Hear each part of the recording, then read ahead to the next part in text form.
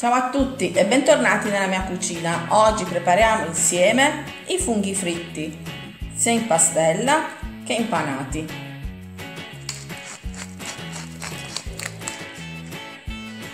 Iniziamo preparando la pastella. Alla farina aggiungiamo un pizzico di sale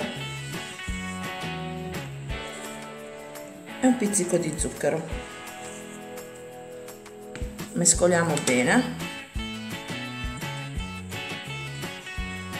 e aggiungiamo l'acqua frizzante gelata.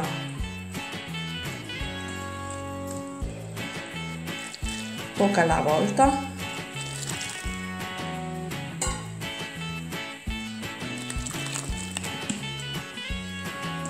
fino ad ottenere una pastella fluida ma non troppo liquida deve essere abbastanza densa ottenuta la pastella vedete questa è la consistenza che deve avere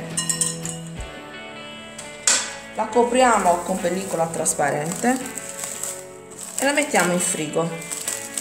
Ora andiamo a pulire i funghi.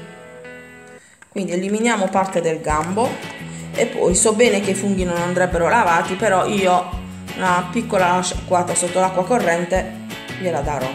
Quindi eliminiamo il gambo e li mettiamo da parte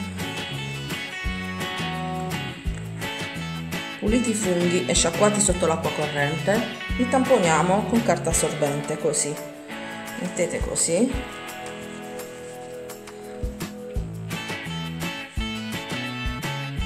E ricoprite con altra carta assorbente.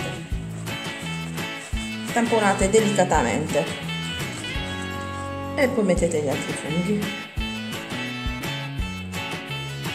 Tamponati bene i funghi e andiamo a tagliare quelli che saranno piccoli basterà tagliarli a metà. Così.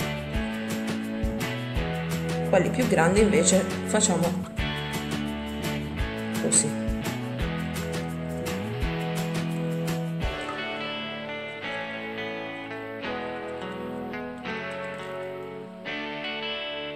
Oltre a fare i funghi fritti in pastella li andremo a fare anche fritti uh, impanati. Quindi abbiamo bisogno di farina uova e pangrattato.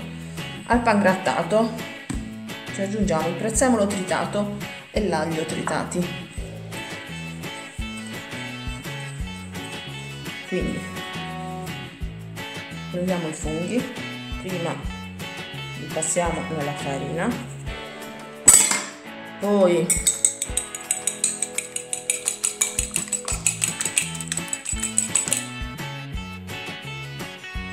nell'uovo sbattuto così.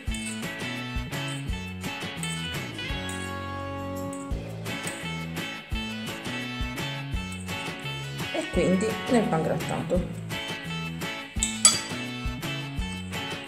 e premiamo bene per far aderire il pangrattato al fungo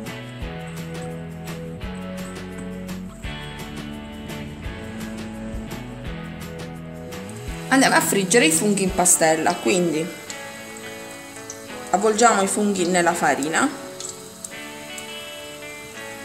e quindi li tuffiamo nella pastella.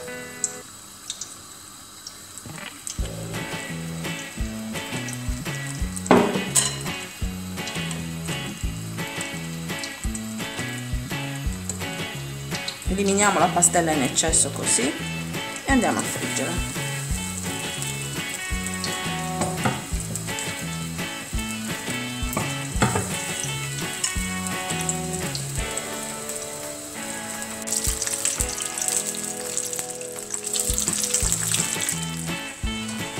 Quando i nostri funghi saranno ben dorati così, li alziamo dall'olio e li mettiamo sul carta sorbente.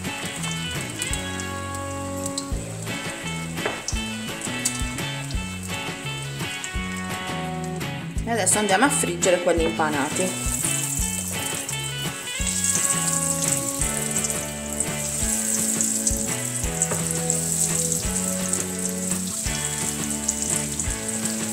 Mi raccomando non aggiungete il sale nella panatura adesso, i funghi andranno salati una volta fritti, appena prima del servizio.